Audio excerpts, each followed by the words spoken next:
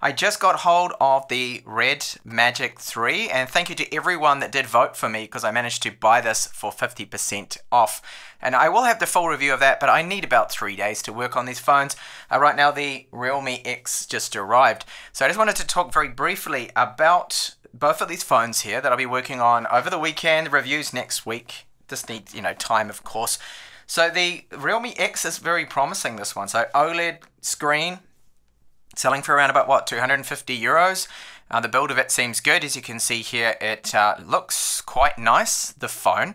Uh, you got 48 megapixel sensor. I believe it is the Samsung one, the GM1. I don't think it's the Sony IMX586. It does have Type-C, so it's not like the Realme 3 Pro, I think it is, the Realme 3 that has the micro USB, which is a big mistake. I have noticed though, if you see when I press in here, I just get the light so you can see how this flexes.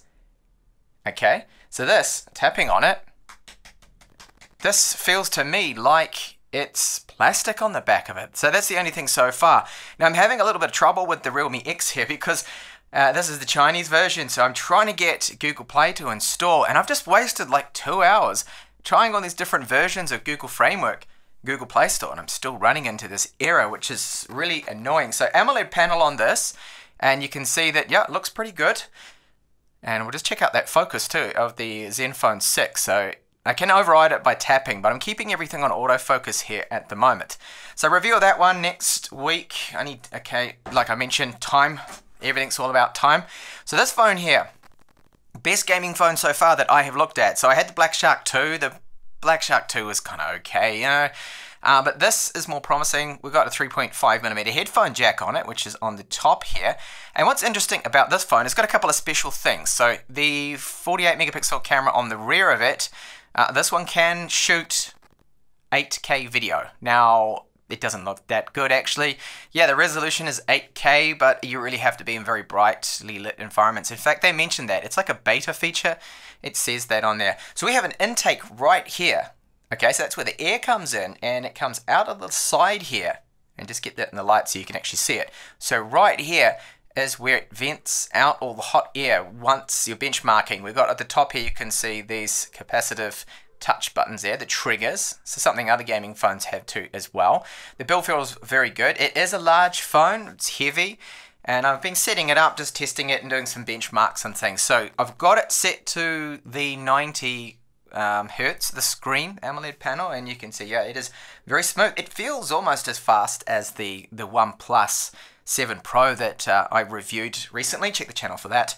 So it's got, of course, uh, stock Android almost. Well, it's just like their own tweaked version of Android, which is good because the Chinese version I was going to buy was absolutely terrible. So I wanted to demonstrate a couple of things here. In fact, I'll show you that about the camera. So under the settings, uh, if you get go into uh, more settings here, you can see that uh, the photo size on the back, so you can actually put this right onto 48.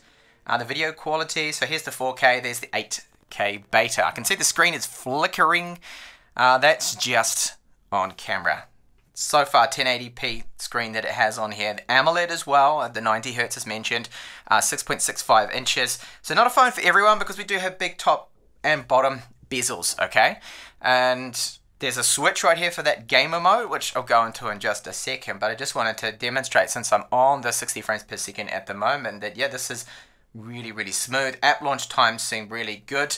Uh, I did do Antutu benchmark as well and you can see here, very good score. In fact, this is the highest I have seen. I know there's higher out there.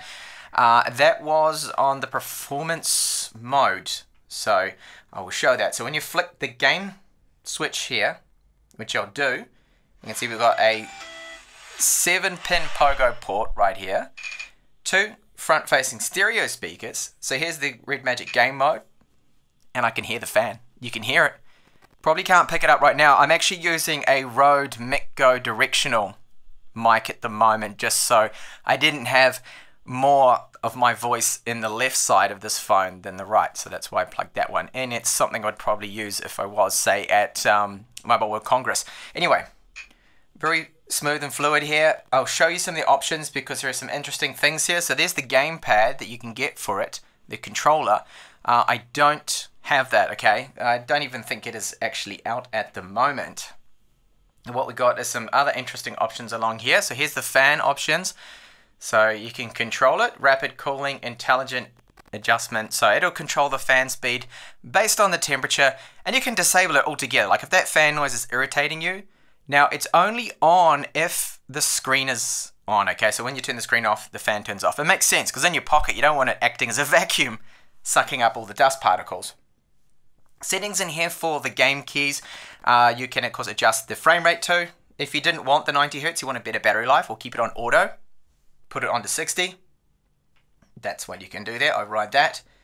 And when you are in the gaming switch mode, from anywhere, so in, in any game, you simply just swipe and you bring up this interesting menu here. So there we go. There's the options that you can see we've got. So we've got a turbo, oh, there's your touch button controller. So those two shoulder buttons you can configure once you're in game. Uh, the 4D shock, so the haptic feedback motor, uh, very good actually. Really nice motor. It's nice and strong, and I would rate it as maybe even better than the One Plus 7 Pros. So it's selling for a really decent price. I mean, if you're watching this video, you probably actually know the spec of it. So Snapdragon 855, 8 gigabytes of RAM and 128 gigabytes of UFS 2.1 storage is my version. And you've got the other options here. So you have the docking station. That's where the Pogo ports are on the bottom. Okay, if you were going to be using that, there's an option there for that. Uh, I just tapped that, in fact. Okay, so enable disable it. And the interesting part here is to, if you go into the different modes, you see it, this, it's bringing up this extra screen here for me. So we've got the auto mode, which it is on by default. I'll set it onto super performance, CPU turbo, GPU turbo, and this is all just to try and give you slightly better frame rates in games. But I'm not actually seeing much of a difference. Gaming between this and say the Mi 9 or the Zenfone 6, which I'm currently recording on, it all seems the same to me. Maybe you're getting a more stable frame rate, but really, you know, I don't know. But as a gaming phone, this seems like one of the better ones. So we've got the Aura Band on the back of it that you can disable, turn that on and off. Uh, once I get out of this screen, I'll just demonstrate that. So that's on the back here, the lights, okay? That's pretty cool. LED strip here, you've got so many different options for that setting in there. Now the fingerprint reader, this is working fine. The build is good. It's a very solid feeling phone in hand. And yeah, I think so far it's looking good. If you're into your gaming phones and this is something that you want, then I'm thinking that yeah, this is this is kind of better than the Black Shark, definitely. And the Asus phone, which is way more expensive than this one, I wouldn't even bother. I'd go for this one. So flipping that switch brings you out of it. And there is a couple of things I've already picked up on. It doesn't take me too long with my reviews.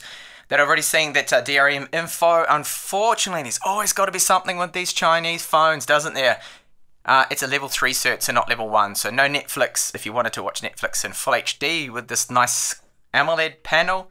No, you can't do that. Uh, camera API, if you're interested in that too. Level 3. Uh, the camera's the weakness of this phone so far. I've taken some snaps outside it takes a very average photo. There's no portrait, but it's not the dual camera setup that you're typically used to.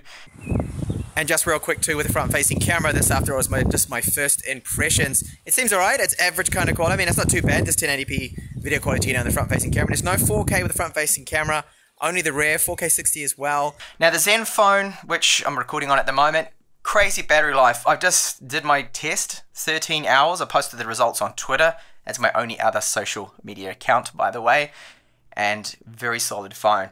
That's why I wanted to test it here, and the focus seems to be good. So it looks like I only have it just mounted in a tripod. looks like this is a very, very good phone here for vloggers and YouTubers like myself. It seems to be almost the perfect phone. Great battery life. The flip around camera is not a gimmick as I posted in my review.